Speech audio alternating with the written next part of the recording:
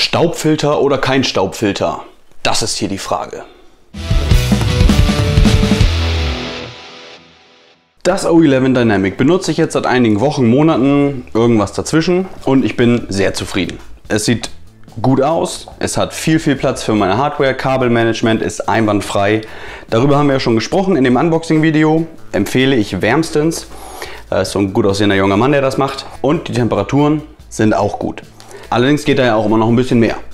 Sprich, weniger. Temperaturen sind immer so eine Sache.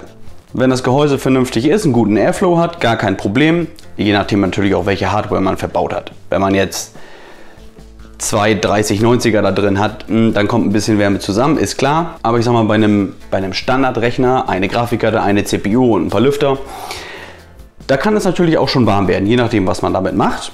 Und dann möchte man die Temperaturen so niedrig halten wie möglich und dass dabei der Geräuschpegel auch noch einigermaßen auszuhalten ist. Ich kann zum Beispiel überhaupt nicht ab, wenn das Ding rührt wie so ein alter Käfer neben mir.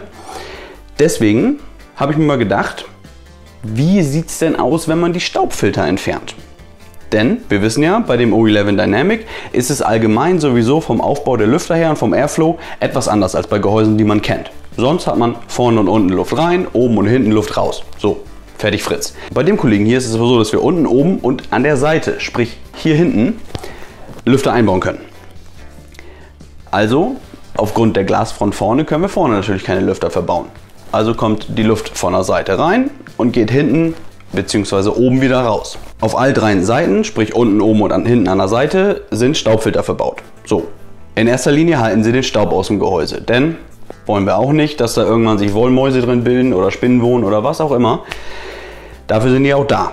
Allerdings ist ja nun mal auch Fakt, dass viele Staubfilter den Airflow einfach behindern weil sie schlechte Qualität haben, weil zu viel starres Material verwendet wurde oder was auch immer. Und das wollen wir uns heute mal angucken. Wie verändern sich die Temperaturen im O11 Dynamic, speziell natürlich hier in meinem Rechner, wenn ich die Staubfilter rausnehme. Separat getestet, einmal oben, einmal unten und einmal an der Seite. Also unten nicht, da ist die Lightbox drin. Da macht das ja keinen Sinn, denn die macht unten ja eh alles dicht. Also sprich oben, da wo die Luft bei mir aus der Wasserkühlung rausgeht und an der Seite, wo die Luft reingezogen wird. Werfen wir doch mal einen Blick drauf. So, ich habe jetzt mal ein paar Tests durchgeführt. Einmal für die CPU, einmal für die Grafikkarte, um die Temperaturen zu vergleichen. Wie es denn ist mit Staubfilter, ohne Staubfilter, nur ein Teil Staubfilter und so weiter. Und die Zahlen gehen wir jetzt einfach mal durch. Angefangen mit der CPU. Da haben wir mit allen Staubfiltern, die beim Gehäuse so dabei sind, eine Idle-Temperatur von 30 Grad. Und unter Last liegen wir bei 62 Grad Celsius. Also alles tippitoppi. Wie gesagt, die Temperaturen waren vorher auch schon gut. Ich wollte einfach nur mal wissen, kann man da noch mehr rausholen, nur indem man die Staubfilter entfernt. Wenn wir den Staubfilter oben wegnehmen, da wo die Wasserkühlung die warme Luft aus dem Gehäuse rauspustet, haben wir eine Idle-Temperatur von 31 Grad und eine Volllasttemperatur von 63 Grad. Lässt man nur die Staubfilter an der Seite weg und den oben aber drauf, liegen wir bei 34 Idle und 64 unter Last. Wenn man alle wegnimmt, liegen wir bei 33 Grad Celsius Idle und 62 Grad unter Last. So, was sagen uns die Zahlen jetzt? Klar, ein paar Grad Unterschied sind da, aber das liegt auch teilweise einfach an den Messungen. Wenn man den ein und denselben Test zweimal durchführt, können auch zwei Ergebnisse bei rauskommen. Das passiert nun mal, da kann man nicht hundertprozentig immer das gleiche Ergebnis erwarten. Also unterm Strich gibt es sich nicht viel. Die Staubfilter behindern den Airflow nicht oder nur ganz, ganz wenig. Also kann ich CPU-technisch gesagt ganz beruhigt die Staubfilter dran lassen. Somit muss ich das nicht andauernd sauber machen. Es kommt ein bisschen weniger Staub rein und die Temperaturen leiden darunter nicht. Gehen wir über zur Grafikkarte. Da lagen wir bei einer Idle-Temperatur von 32 Grad, unter Last bei 69 Grad. Auch tippitoppi für eine Grafikkarte, gerade in der Faunus Edition, kann ich nicht drüber meckern. Wenn wir den Staubfilter oben weglassen, haben wir eine Idle-Temperatur von 33 Grad und unter Last 70 Grad. Die Staubfilter an der Seite weg, oben dafür drauf, liegen wir bei 31 Grad und bei 68 Grad unter Volllast.